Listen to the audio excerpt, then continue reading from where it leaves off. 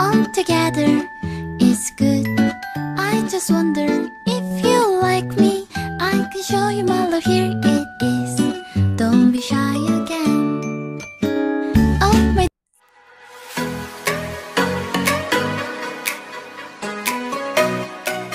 Halo semuanya, welcome back to my channel.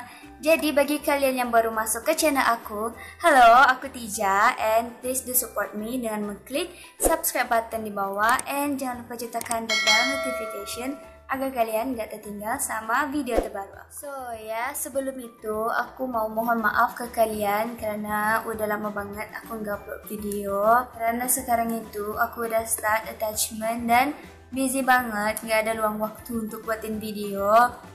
Dan aku mau makasih banget ke kalian yang udah support aku dari 0 sampai sekarang udah 1000 subscriber. Makasih banget.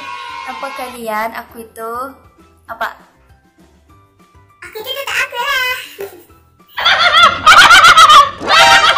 Nate. Jadi aku mau makasih banget dan aku tuh mulai nge-youtube dalam bulan April dan aku dapetin 1000 subscriber ketika 19 Jun 2019 jadi hanya dalam 3 bulan.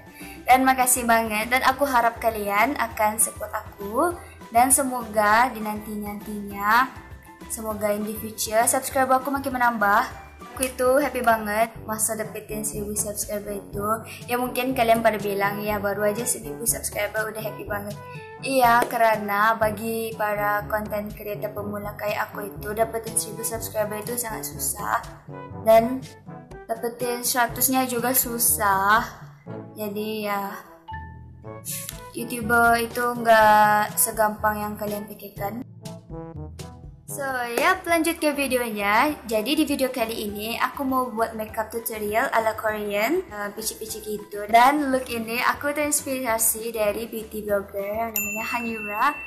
Dan semoga video ini bermanfaat untuk kalian. Dan semoga juga kalian suka dengan video ini.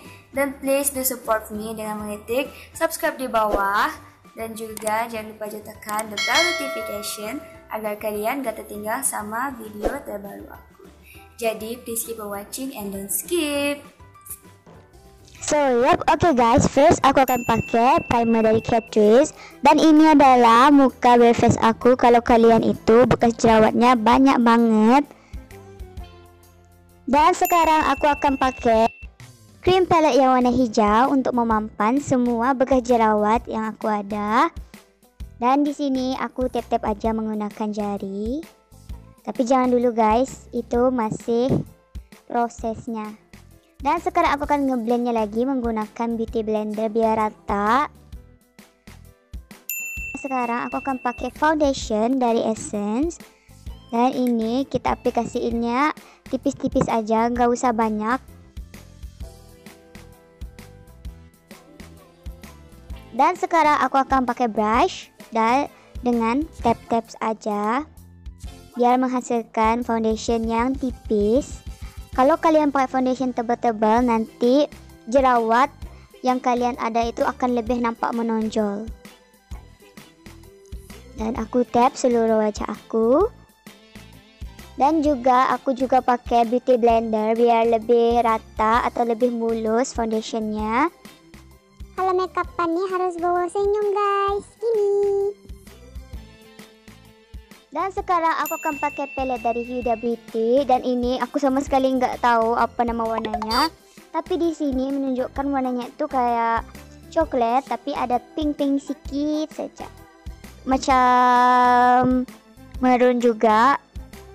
Tapi ini aku aplikasiinnya ke seluruh kelopak mata aku dan juga mata bawah aku. Dan sekarang aku aplikasiin warna coklat terang di eyelid aku dan juga di bawah mata.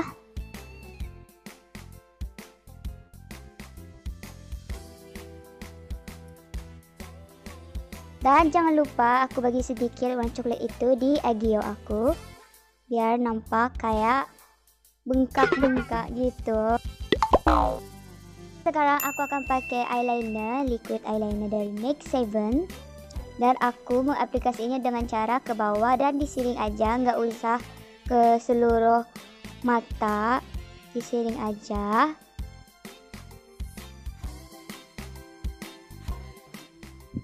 Oke, sekarang aku akan ngejepit bulu mata aku dahulu biar lebih melentik. Dan ini aku ngejepit kulit aku jadi sakit banget, guys. Kalau kalian itu air mataku keluar, hmm, sakit. Dan sekarang aku akan pakai maskara dari L'Oreal. Dan ini maskaranya aku suka banget karena ya jenis waterproof. Kalau kalian lagi jalan-jalan ke mall gitu lama banget nggak akan luntur sampai ke bawah mata ini waterproof banget jadi aku suka aku suka dan sekarang aku akan menambahkan lagi warna brown di kelopak mataku dan juga bawah mata aku biar matanya itu lebih nampak gede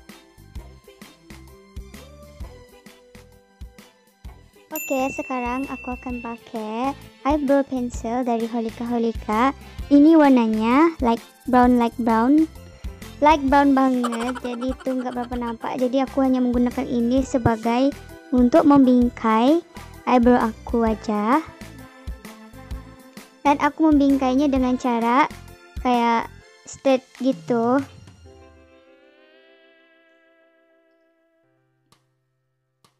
dan sekarang aku akan menambahin lagi pakai eyebrow pencil yang lebih dark coklatnya lebih dark Dan sekarang aku akan mengisi di dalamnya.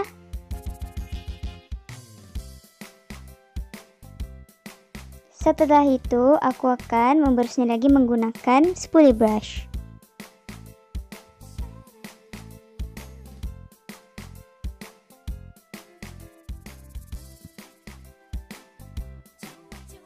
Agar eyebrownya rata, aku aplikasiin lagi foundation yang aku pakai tadi sebagai concealer.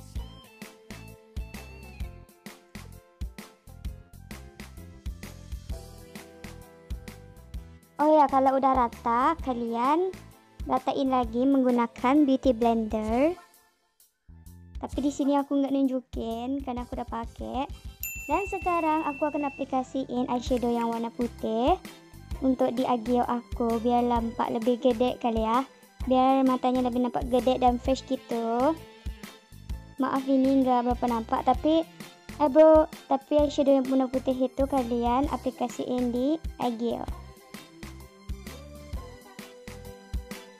aku saranin ke kalian pakai jari aja biar lebih nampak pigmented karena kalau pakai brush itu kayak nggak nggak nampak gitu ya punya eyeshadow jadi aku pakai jari aja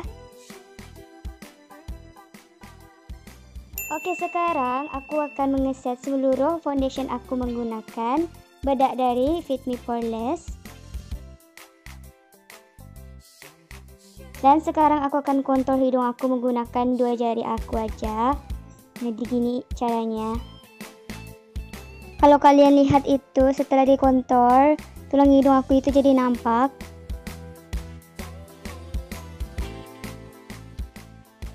Oke, sekarang aku akan pakai blush warna pink. Tapi pertama-tama aku akan aplikasiin di mata aku dahulu biar nampak matanya itu kayak pink-pink kayak peach-peachy gitu dan setelah mata baru aku aplikasiin di pipi aku tapi ini aku aplikasinya tebel-tebel biar di HP ini di kamera nampak tapi kalau kalian pakai jangan tebel ya tipis-tipis aja kan kalau kayak itu semuanya tentang natural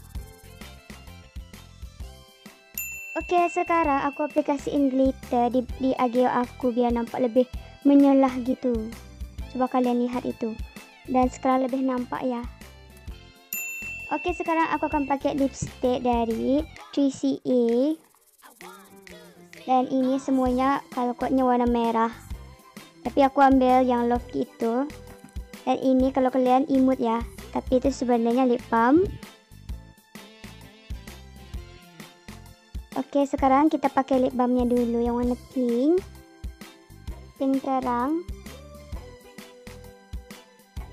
Karena ini aku mau buat lips yang gradient look dan sekarang aku aplikasiin warna merah sikit-sikit aja nggak usah banyak dan aku ratainnya menggunakan jari